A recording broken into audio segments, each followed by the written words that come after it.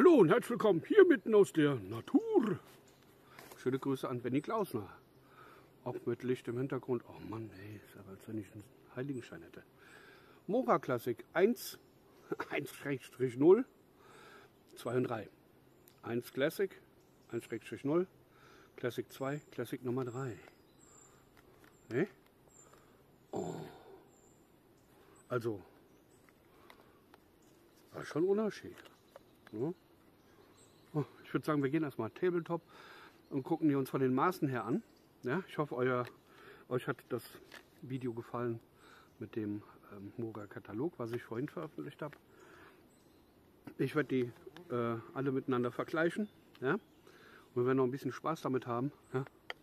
Sonst wäre es ja kein Premium-Video. Waldmeister Premium. Hm. Okay, Tabletop. Nein, doch. So, gleich zu Beginn gesagt. Die, mir ist das sehr lieb und recht, dass die Modelle mit recycelten Kartons jetzt daherkommen. Äh, ich hoffe, das wird wohl jetzt öfters passieren. Hier haben wir noch einen, einen etwas neueren Karton. Übrigens alle Messer beziehe ich oder habe ich bezogen bei HKGT. Ja, das muss man fairerweise sagen. Ähm, ich sage auch bezogen, das heißt gekauft. Davon ist keins geschenkt. Ne? Classic Number One. 1-0. Classic Number 2. Wo alle immer gedacht haben, das wäre das typische, das typische, ähm, ja, Cody Landin Survival Knife. Das stimmt nicht. Das ist nämlich das hier. Und Classic Nummer 3. Äh, die haben immer gedacht, er hat das getragen. Das stimmt nicht. Er hat das hier getragen. Ne? Und ich habe zum Vergleich auch noch ein etwas älteres mitgebracht, um mal äh, die Griffe zu vergleichen, wie die heute sind, zu damals und gestern. Hätte ich jetzt fast gesagt. So, jetzt wollen wir hier aufräumen. Und Schack. Erstmal vielen, vielen Dank äh, an den Martin und den Kai. Ne, die Tiax Brothers. Ich finde das geil, Tiax Brothers. Klingt, klingt richtig cool. Ähm, dass ihr mir den Katalog mitgeschickt habt.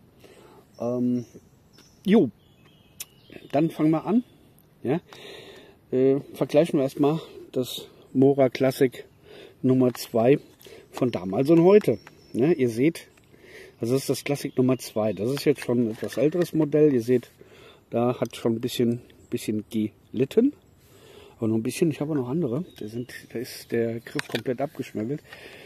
Ihr seht, der, die Scheide ist schon anders. Ja? Das sind die neueren Scheiden. Die alten Scheiden. Hier, so, zack.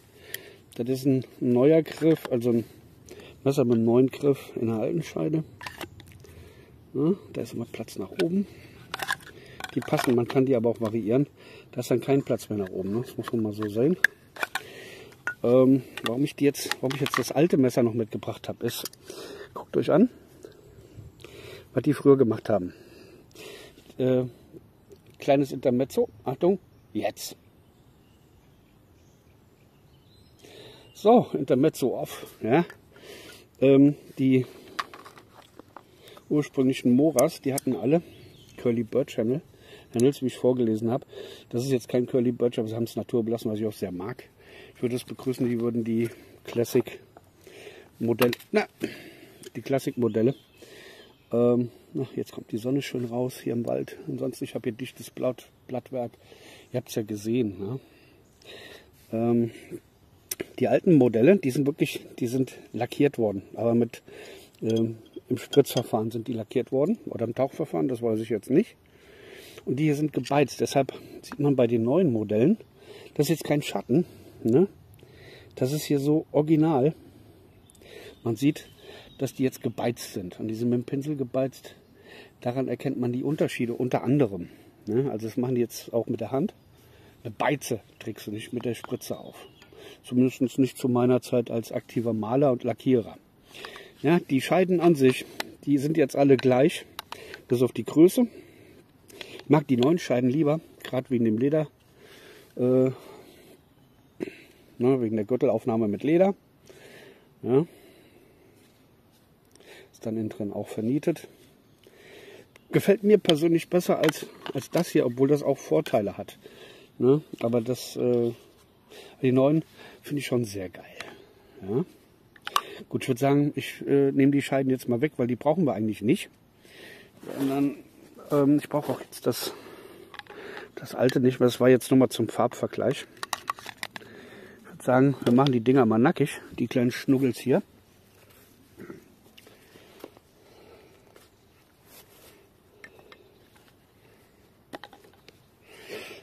Nur die Scheide hierzu, die finde ich richtig geil, die ist aus Leder, komplett Leder. Ich würde das begrüßen, die würden es auch machen. In Leder. Alle in Leder. Ja, Mora, hey, du each uh, or make, produce each uh, cheese out of leather. Would be great. Oder sie würden hingehen, würden, würden das Leder, Leder draußen rumherum nähen. Das wird den Messern echt gut stehen. Ich lege das auch auf Seite. Ja. Dann gehen wir mal von oben herunter. Das hier ist das Classic Nummer 1. Äh, das ist das Classic Nummer 1 ähm, mit laminiert. Ah, das ist das Originale. Ne? Das hier ist einfach nur ein kleineres. Ähm,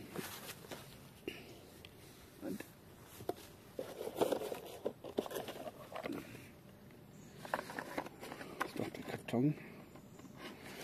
Classic 1.0. Seht ihr? Bei der 1-0. The all-round knife has a 78 mm long blade and is suitable for multi, uh, multiple purposes. Oh, da aber. The Mora Knife Classics are our most iconic knives. The purest form made in traditional way with a birch wood handle and high quality carbon steel blade. The classic knives have been used for generations making them a historical symbol of Sweden. That's right. Ja, ich hoffe, ihr seht noch genug. Ansonsten könnte ich mal die Helligkeit ein bisschen hochziehen. So, noch ein bisschen. Okay, komm, noch ein bisschen. So. Das ist Classic Nummer 2. Wie gesagt, fälschlicherweise, das sieht jetzt vor der Kamera ähm, ein bisschen kleiner aus, äh, größer aus. Ist es aber nicht. Classic Nummer 1. 2.0, Original Classic, Classic 2 und Classic 3. A nice, a nice Pair hätte ich jetzt fast gesagt, aber das sind ja, ist ja, sind ja zwei Pärchen. Ich finde die geil. Also mir, mir ich liebe die einfach. Ich kann euch nicht sagen, warum. Es ist einfach, einfach so. Vielleicht erinnert es mich zu sehr an meine Jugend. Gut, jetzt gehen wir mal über die Daten.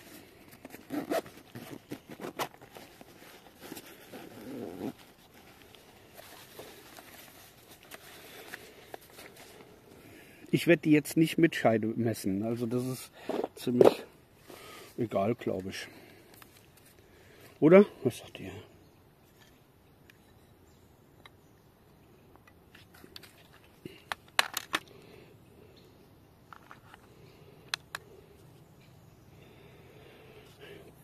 Classic 1-0.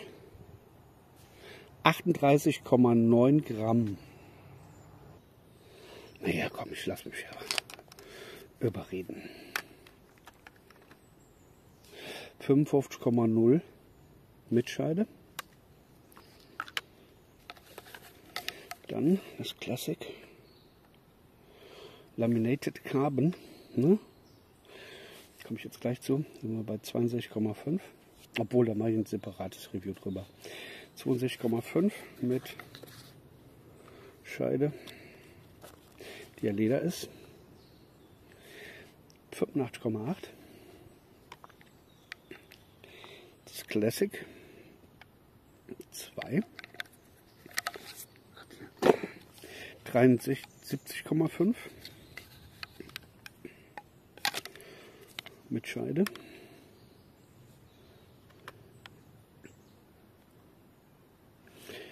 Sechsundneunzig. Muss aufpassen, dass hier nicht so dass wir die nicht abfälschen. No.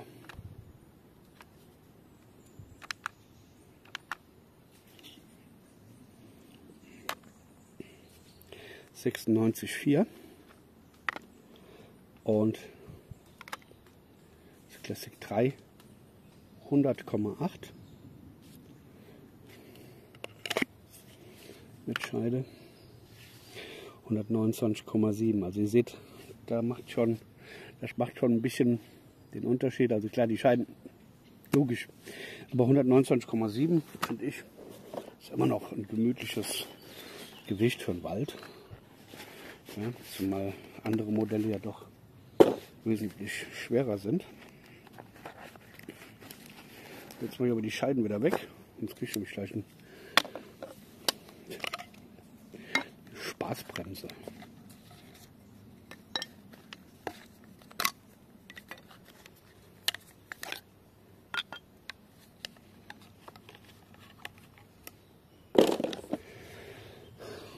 Allen werde ich jetzt die Dicke und die Höhe messen. 2,4 19,9 Klassik Nummer 2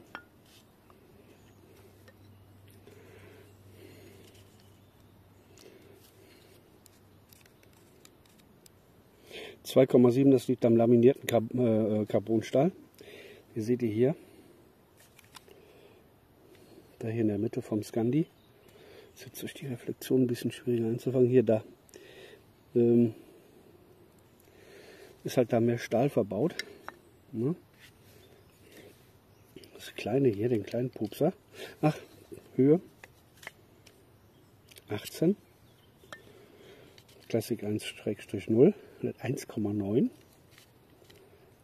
15,2. Und hier den fetten Lorbas 2,4. 23,4. Also das natürlich schon Ne, das würde ich mal als ordentliches Waldmesserchen deklarieren, obwohl ich bin viele, viele Jahre, auch als Jugendlicher, der schon als Jugendlicher Moormesser mit dem hier gut ausgekommen. Das war so das Standardmodell, was man hier so in Spezialgeschäften bekam. Bei mir war es die Firma Zunft Neuwied in der Langendorfer Straße. Guter Mann, der hat mir mit 13 schon meine erste Machete verkauft. Der war cool. Der war echt cool. Oh, du könnt Scheiß mit, ne? Nein. Ja, nicht stechen und so, ne? Nein. Okay. So. Classic Nummer 1. Ja, ich liebe das, samstags im Wald zu sein. Morgens um 8 Uhr ist noch keine Sau da. 7,5 Klingenlänge. 16,8 äh, Gesamtlänge. Classic, Original Classic. Ich sag gerade eben noch, da ist keiner im Wald. Ja. Das ist Andreas mit seinem Hund. Ja. Und ist noch nicht so ganz, wie er soll.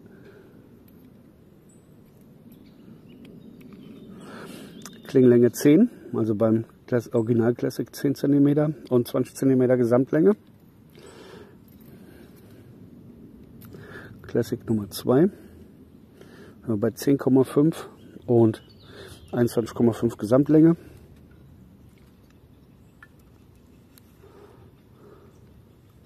Beim Classic Nummer 3 sind wir bei 13,5 und äh, 25,3 Gesamtlänge. Denkt bestimmt hier der kleine Pupser, boah, da kann ich ihn brauchen. Äh, es wird knapp, bei Handschuhgröße 9,5 bis 10, es wird knapp, aber ich würde das als ausgewiesenes Schnitzmesser bezeichnen. der dicksten Stelle sind wir bei 7,5 cm Umfang. Ja? Ne, bei 7 cm, Entschuldigung.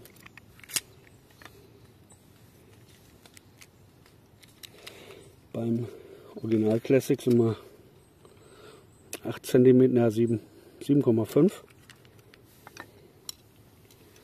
Classic Nummer 2.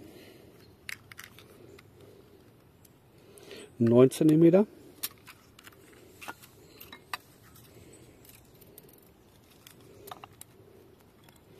Und beim Classic 3 bei 9,5. Also das ist schon, wie gesagt, ich finde die alle geil. Äh, aber hier hast du halt schon richtig gut was in der, in der Hand. Ja. Klar, das ist der von vielen äh, fälschlicherweise gedacht, dass äh, Cody Landin Survival Knife. Das stimmt aber nicht. Der Cody hat das hier am Hals gehabt. This one. Geil. Liegt auch recht gut in der Hand. Ne? Bei Handschuhgröße 9,5 bis 10. Mit Tendenz eher zu 10. Sehr gut. Bei dem wird es halt sehr, sehr knapp. Aber gut, damit würde ich eh keine großen Grundstückchen äh, vollführen. Classic Nummer 3. Ist natürlich schön schief, der, das Ding hier, ja, der Eumel.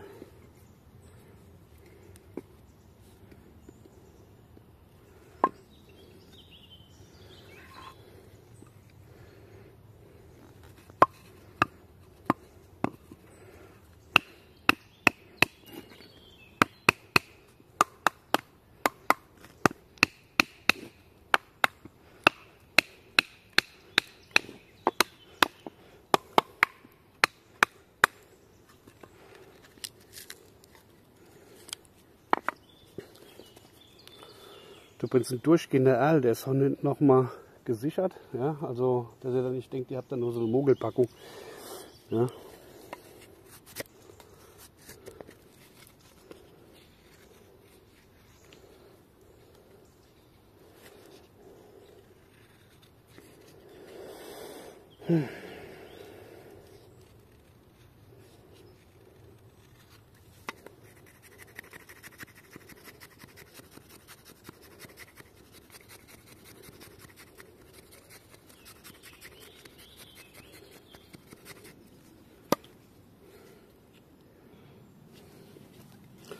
Das hier mal wieder versorgen. Zack. Nur so ein bisschen oben drauf. Ne? Dann lasst euch nicht stören, wenn der Andi ein bisschen brüllt mit dem Hund. Nee. Ja, doch. Hier nehmen wir es Nummer zwei. Er ist hier noch am Ausbilden. Ach, ist mit seiner Frau unterwegs.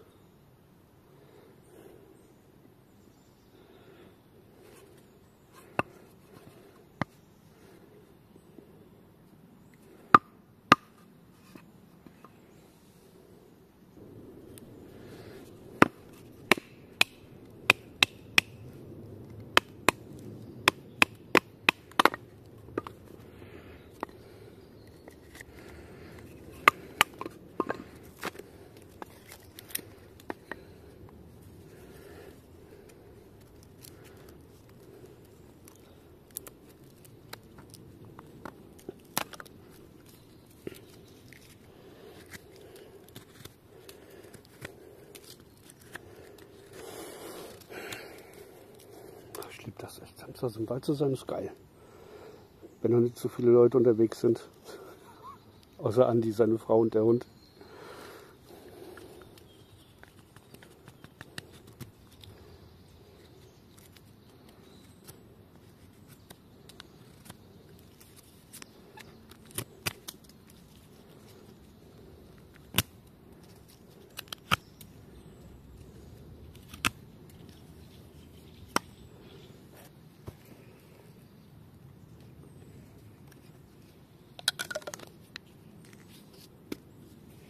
Ne? Immer so einen kleinen Schlag auf den Kopf.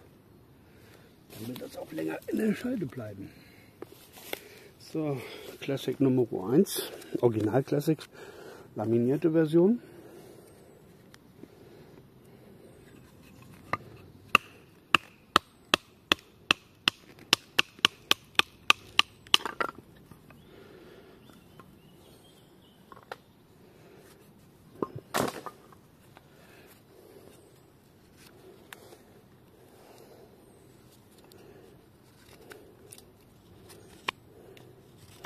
Sehr führig, also durch den Griff. Klasse. Wie gesagt, da kommt noch ein ein separates Video dazu. Und ihr seht hier, wie das einfach so wegspringt. Ja. Also wenn ihr dran denkt, wie die Messergriffe aussehen auf den Moras oder auf den, ne, diese handgeschnitzten, äh, mit denen hier nimmst du wirklich jede Kante ab und machst die rund.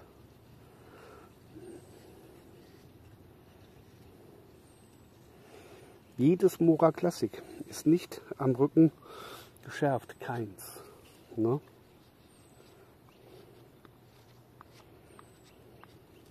Sehe, das ist fast schon komplett rund. Ja, da muss ich jetzt besseres Licht haben. Ist ja doch recht dunkel jetzt. Die sind echt. Ich habe hier so ein Plattwerk, das ist Wahnsinn.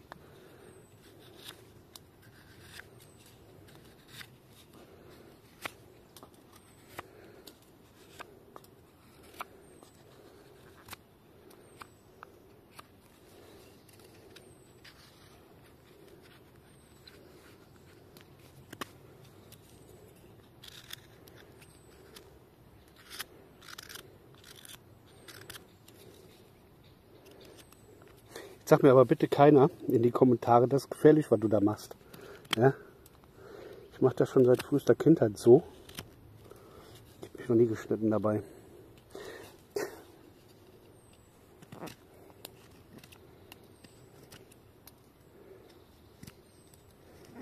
Hier ist das kontrollierte Schneiden. Ganz einfach. Das ist übrigens einer der Gründe, warum ich nicht allzu viel Druck auf den Griff ausübe, sondern immer so mit dem Daumen führe. Zum einen ist das kontrollierter, zum anderen übst du keinen Druck auf, auf so einen Holzgriff aus.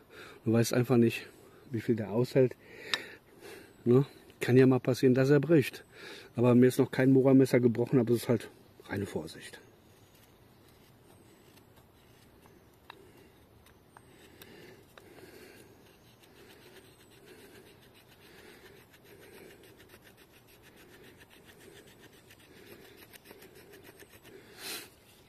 Zur Not kriegt ihr hier so ein paar Spännchen hin, falls ihr mal Feuer machen müsst. Aber es wird halt schwierig. Da müsst ihr vor eure Moras bearbeiten, dass die hinten geschärft werden. Also, dass der Klingenrücken 90 Grad hat. Ne? So. Zack.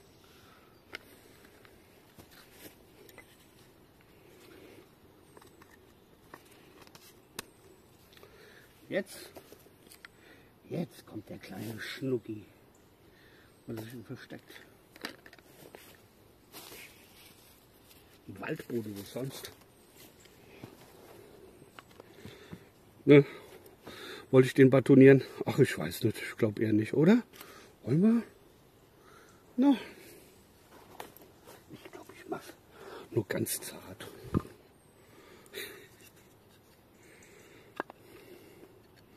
Nur ganz zart.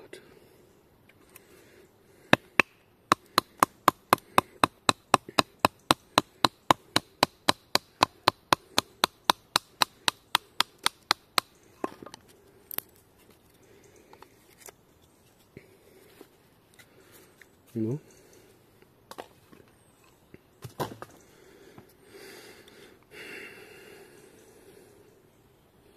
Habe ich schon erwähnt, dass ich es liebe, samstags vormittags im Wald zu sein? Obwohl, ich liebe es, jeden Tag im Wald zu sein. Ne, also nicht von der Größe falsch ausgehen, dass es nichts taugt. Ähm, grad.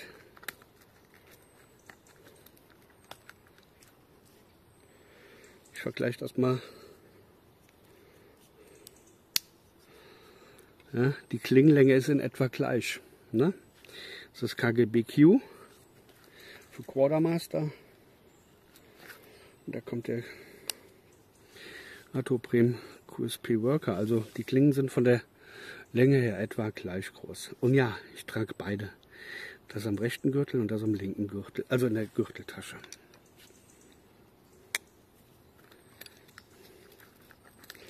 Review werde ich hiernach auch drehen.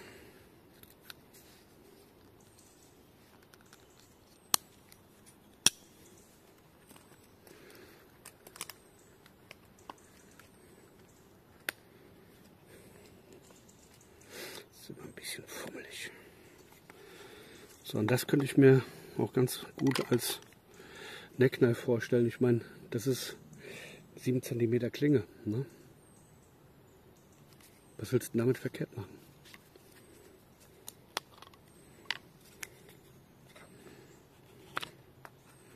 Und sagt mir keiner, das taucht nichts. Ich meine, die Wood Carving Knives, diese, die sind von, vom Griff her ein bisschen dicker, ja, klar, weil dicker ist dann ermüdungsfreier. Das ist jetzt mit Sicherheit auch kein ausgewiesenes Waldmesser von der Größe her. Ähm,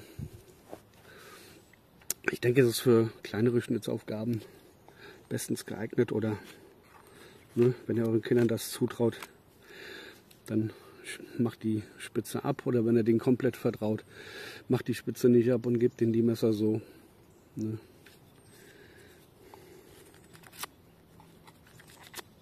Und auch wie alles oder wie jedes Classic ist das ein Full Tang. Ich mal gerade gucken.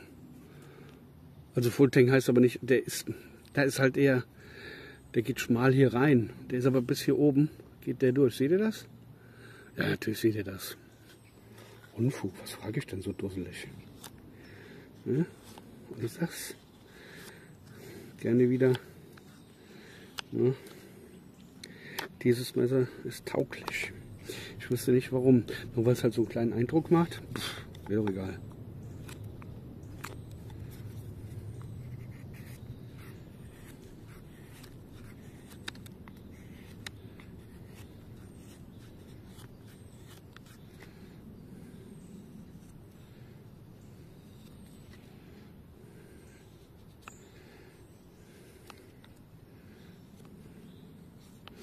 Classic Nummer 2 habe ich ein Review gemacht. wenn ihr wollt, mache ich von jedem nochmal ein separates Review, außer dem Classic 2. Das habe ich schon mal gedreht.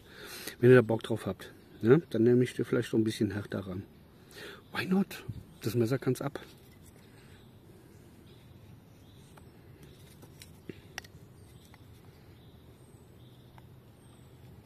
Schreibt mal in die Kommentare.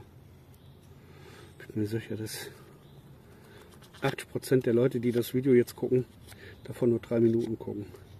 Warum auch immer. Warum macht ihr sowas? Ja, ich weiß, Video ist zu lang. Hört ihr den Klang?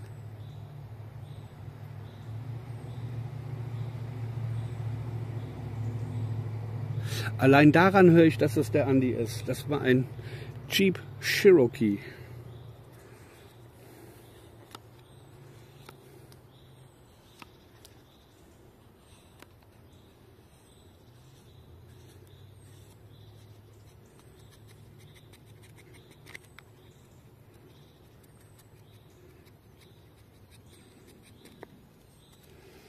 Da, schön rund.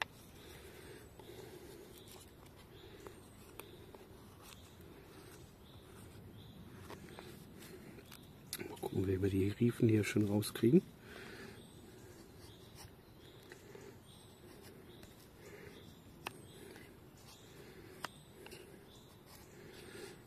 Wie ich das schon öfters gesagt habe, schmeißt sowas nicht weg packt das irgendwo hin, lasst es trocknen. Ihr habt den geilsten Zunder überhaupt. Ne? Wenn ihr Löckchen macht oder so. Einfach nicht wegschmeißen. Geiler Zunder. Und das ist es auch. So. Macht's gut. Schwenkt den Hut. Tschüss, hart. Und schwenkt die Kappe. Euer Waldmeister.